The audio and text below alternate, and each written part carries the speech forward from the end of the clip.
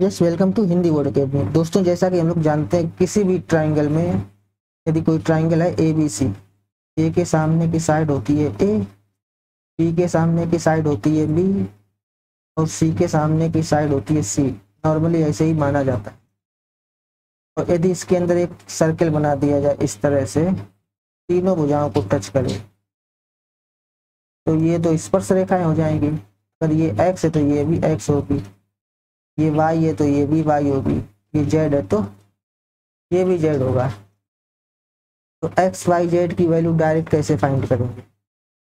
ध्यान रखना, एक्स कैसे निकालेंगे एक्स के बीच में कोण कौन सा है? ए, और ए के सामने साइड कौन सी है? ए। एक्स इक्वल टू हो जाएगा X minus A. In the same way, Y की वैल्यू क्या हो जाएगी? वाई के बीच में कोण कौन सा है? बी, और बी के सामने साइड है बी। तो वाई इक्वल टू हो जाएगा एस माइनस बी इसी प्रकार जेड इक्वल टू क्या हो जाएगा?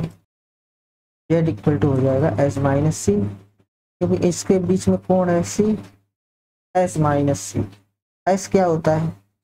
हीरोन्स फॉर्मूला में जो एस होता है A plus B plus C upon two चाहिए आया कैसे? वो भी देख लेते हैं।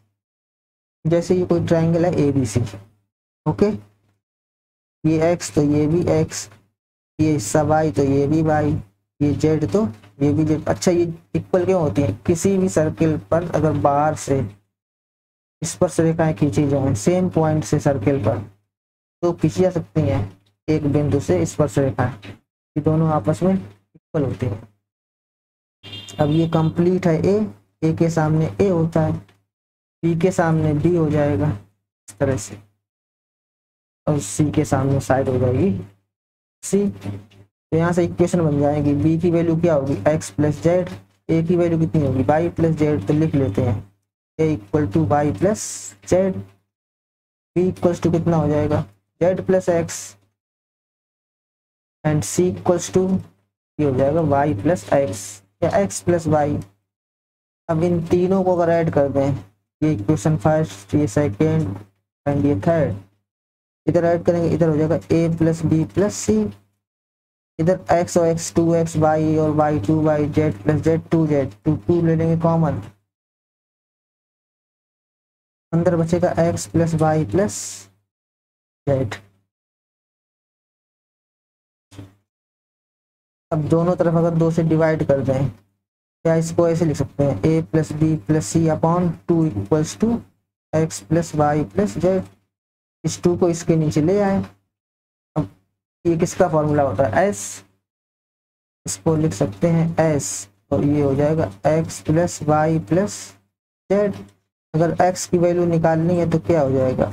S minus Y plus Z Y plus Z की वैल्यू कितनी है? ए यहाँ से देख सकते हैं। एस माइनस ए ऐसे y की वैल्यू कितनी हो जाएगी? जब y निकालेंगे तो z और x लेफ़्ट में आ जाएगा तो ये हो जाएगा s माइनस और z प्लस एक्स को लिख सकते हैं b और z इक्वल टू हो जाएगा s minus C very easy make sure to remember this method shortcut exam में क्वेश्चन डायरेक्ट पूछा जाता है. तो आज की ट्रिक ये है. ट्रिक ऑफ़ द डे जो भी बताया. ये वैल्यू एक्स है तो एक्स की value S minus A Y की वैल्यू कितनी होगी? एस माइनस बी जेड की वैल्यू कितनी होगी? S minus C important shortcut है ये ये पी क्यू आर एक ट्राइंगल है। पी क्यू क्यू आर और आर पी की वैल्यू है तेरह, चौदह, पंद्रह सेंटीमीटर तो P D into R F की वैल्यू कितनी होगी? ये P D into R F इसकी वैल्यू क्या होगी? अगर ये फॉर्मूला नहीं पता है तो इसमें बहुत टाइम लग जाएगा। तो कैसे करेंगे? इसको एक्स मान ले तो ये भी एक्स इसको वाई मान ले तो ये भी वाई इसको जेड मान ले तो ये भी जेड अब पी क्यू की वैल्यू है तेरह सेंटीमीटर ये कंप्लीट है तेरह। क्यू आर की वैल्यू कितनी है? चौदह सेंटीमीटर और ये पंद्रह सेंटीमीटर तो सबसे पहले एस निकाल लेते हैं। एस की वैल्यू क्या होती है? A plus B plus C upon two मतलब तीनों भुजाओं का योगफल तेरह, चौदह और पंद्रह का योगफल कितना होगा? पाँच, तीन, आठ चार, बारह की दो, तीन, एक, चार फोर्टी टू अपॉन टू कितना हो जाएगा? ट्वेंटी वन हमें एक्स निकालना है। एक्स इक्वल टू क्या होगा? ट्वेंटी वन माइनस एक्स किसके बीच रहा है? पी के बीच में पी के सामने साइड कौन सी? चौदह। इक्कीस माइनस चौदह यानी कि हाउ मच सेवन ऐसी जेड निकालना है। जेड किसके सामने है? तेरह के सामने है। जेड की वैल्यू हो जाएगी ये एस माइनस तेरह। एस कितना? इक्कीस माइनस तेरह यानी कि आठ। पी डी को एक्स माना था आर एफ़ को कितना माना था? जेड जेड इंटू एक्स कितना हो जाएगा? ये एट इंटू सेवन यानी कि fifty six centimetre square very easy question है, यही।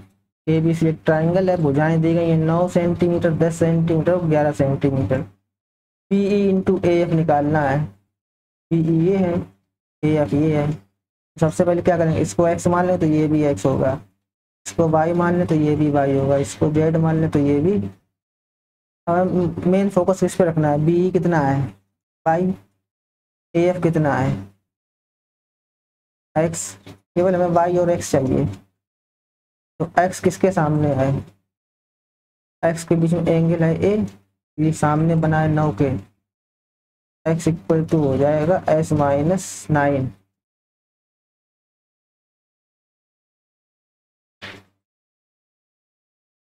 तो एस निकाल लेते हैं पहले। एस होता है A plus B plus C upon two कितना ग्यारह, नौ, बीस और दस, तीस। तीस बटे दो कितना हो जाएगा? पंद्रह सेंटीमीटर। अब एक्स निकालना है, पंद्रह माइनस एक्स के बीच में कोण है ए ए के सामने भुजा है नौ। पंद्रह माइनस नौ यानी कि छः सेंटीमीटर। और बाई निकाल लेते हैं। ये है, बाई बाई के सामने कौन साइड है? दस तो ये हो जाएगा पंद्रह माइनस दस, यानी कि पाँच सेंटीमीटर रख देंगे वैल्यू कितना हो जाएगा छः इंटू पाँच, यानी कि तीस सेंटीमीटर अगर एक्स वाई या जेड की वैल्यू पूछी जाए जेड भी निकाल लेंगे। कितना होगा जेड जेड किसके बीच में? सी के बीच में? सी के सामने साइड कितनी है। ग्यारह तो इसको पंद्रह से घटा देंगे। कितना देगा चार। X into Y into Z पूछा जाए। वैल्यू निकाले छः इंटू पाँच इंटू चार। एक सौ बीस आंसर आ जाएगा। सेंटीमीटर, यहाँ क्यूब लिखेंगे, ध्यान रखना यूनिट